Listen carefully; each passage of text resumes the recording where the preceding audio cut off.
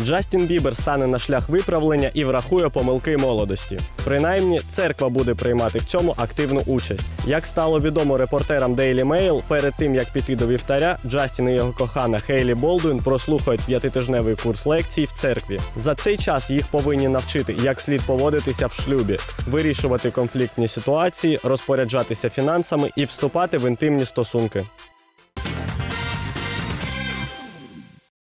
Переможницю Євробачення 2018 Нетту Барзілай помітили в Києві. Барзілай була помічена біля Національного музею історії України. Співачка сиділа на дивані, який крутився, а навколо неї бігали поліцейські та стояли їх автомобілі. За інформацією, це частина зйомок нового кліпу Нетти Барзілай. Виконавицю на тому ж дивані помітили у парку Бучі.